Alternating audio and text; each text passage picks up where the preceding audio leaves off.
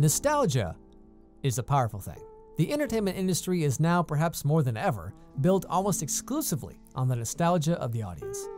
Look back at the last few years of movies, TV shows, video games, and just count how many of these are reboots, revivals, HD remakes, and so on. Capturing the wonder and excitement of childhood is big business. As all of us who were kids in the 80s and 90s start to creep into our 30s and 40s, and who just so happen to now have disposable income, it's not uncommon for us to look back at the past with rose colored glasses and think about the so called good old days. However, the mentality of movie studios and game developers to continue to revisit the past, to expand on what was there, to give us more, better, faster, more often than not is detrimental to the product as a whole. What was only supposed to be a simple, entertaining movie or TV show or whatever now has to be real, gritty, and everything and everyone has to be explained to the last detail. In this way, the push to cash in solely on the nostalgia of the audience is ruining our favorite franchises.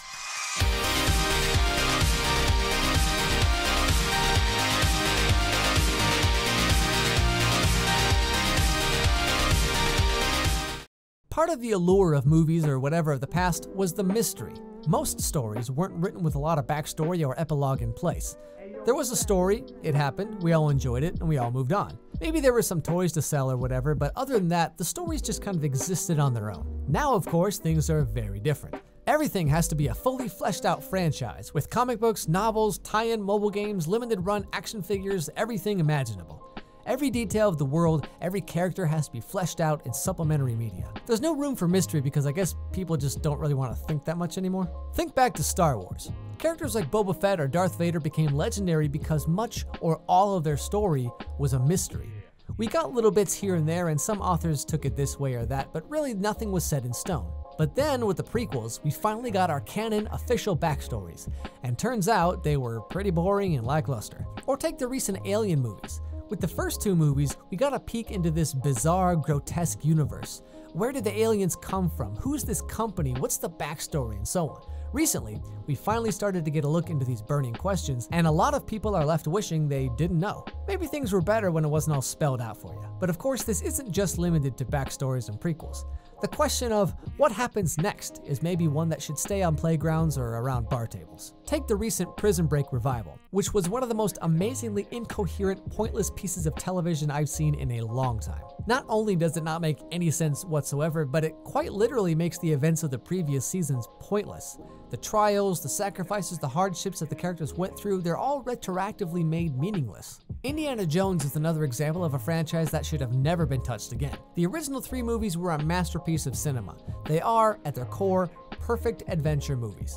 We got what we needed, we all had fun, and that should have been that. But of course, Indiana Jones 4 comes along and pretty much ruins the franchise for future generations. I mean, people are more likely to watch more recent versions of something than older versions. I mean, newer means better, right?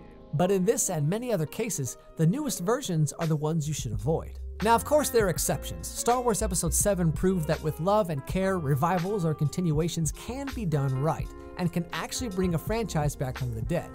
Not that Star Wars was necessarily dead per se, but after the prequels tried to give us everything we thought we wanted, no one really thought much about Star Wars until we heard it was sold to Disney and they were going to start making movies again. So far, we've gotten two excellent movies that stand out even more as outliers because there are so few examples of this working even half as well. Now, this bodes well for movies like the upcoming Blade Runner, but the track record has far more misses than hits. There are a lot of reasons why trying to cash in on nostalgia alone is doomed to fail.